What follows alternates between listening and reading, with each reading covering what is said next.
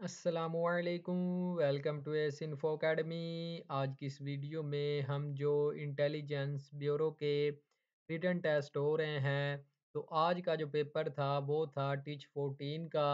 तो आज की इस वीडियो में हम इसके जो एम सी क्यूज़ आए थे, वो हम डिस्कस करेंगे।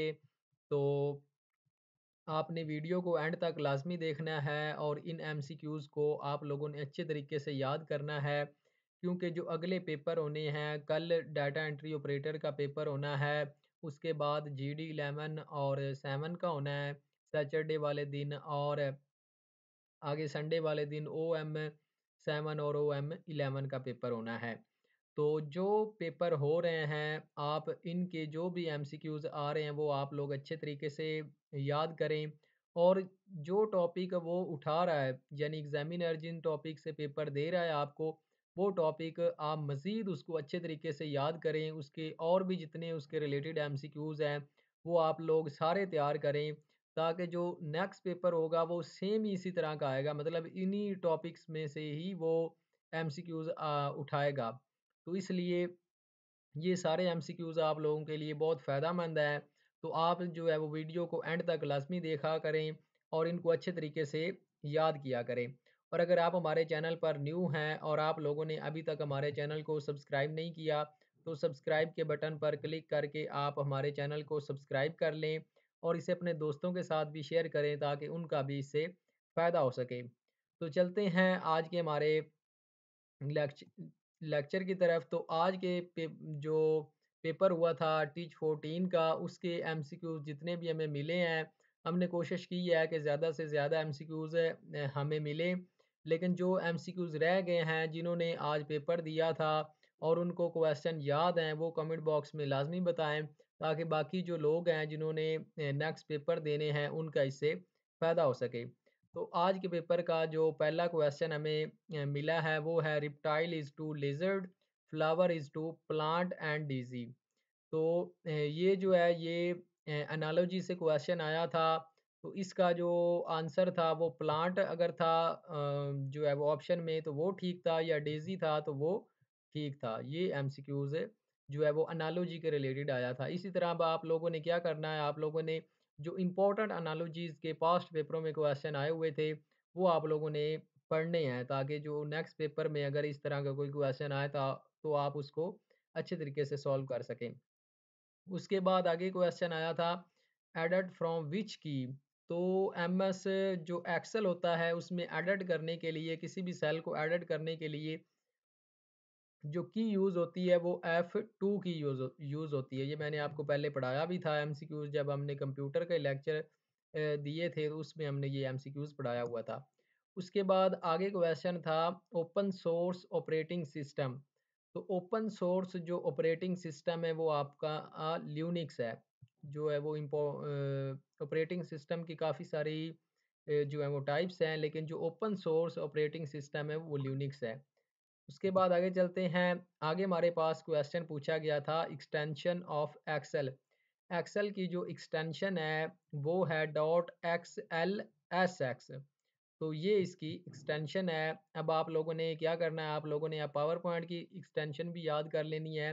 और वर्ड की एक्सटेंशन भी याद कर लेनी है ताकि वो नेक्स्ट पेपर में हो सकता है कि इनमें से कोई ना पूछ ले।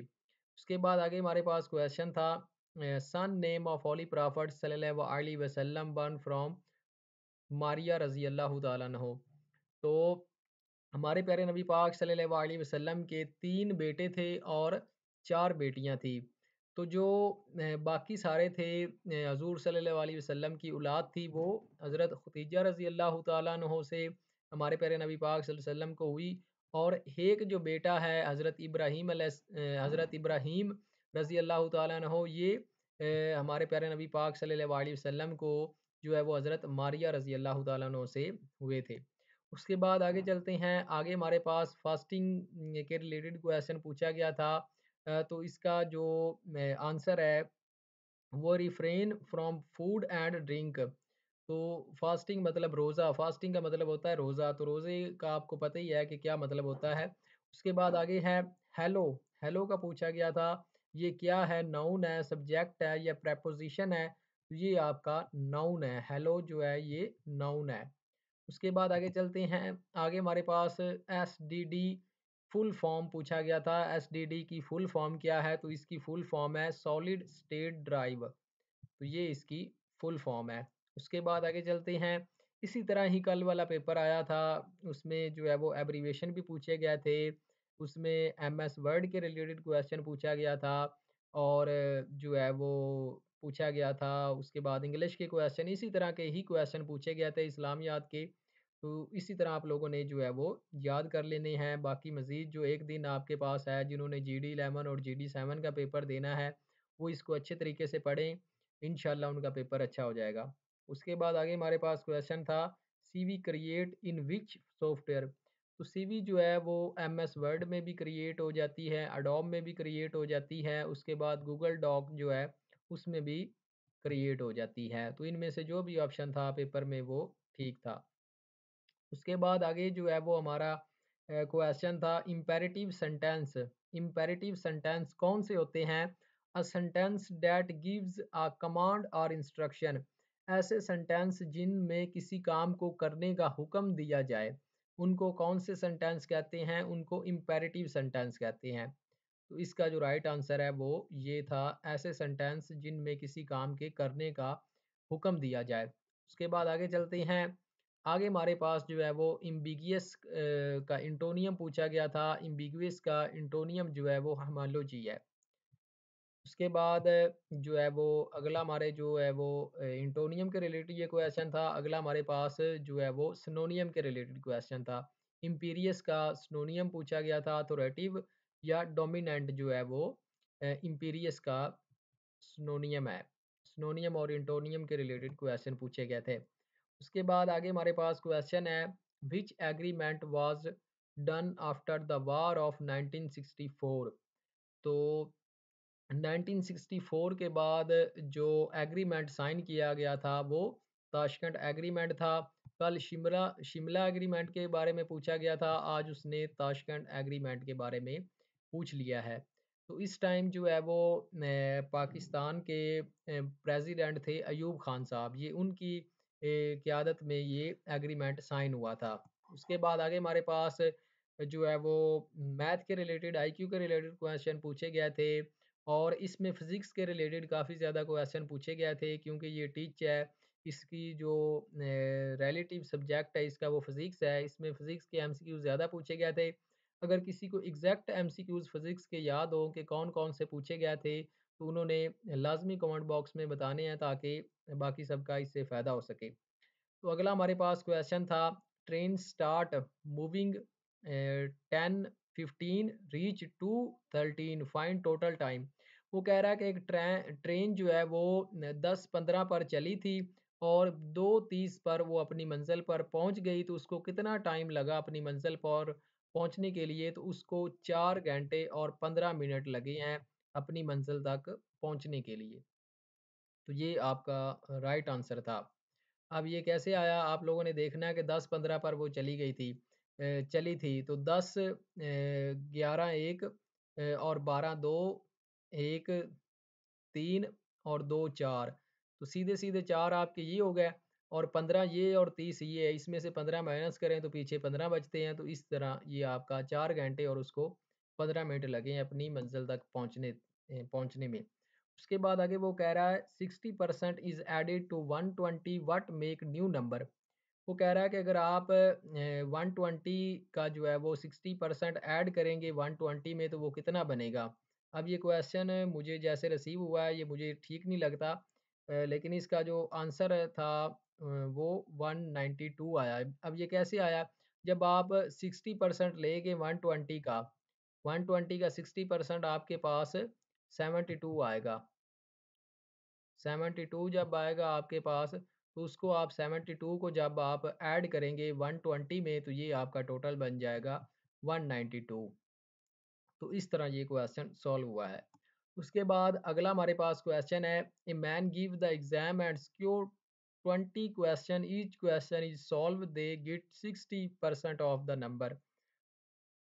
अब ये क्वेश्चन जो है मुझे ठीक तरह से रिसीव नहीं हुआ और मुझे इसकी कोई समझ नहीं आई कि ये किस तरह क्वेश्चन आया हुआ था।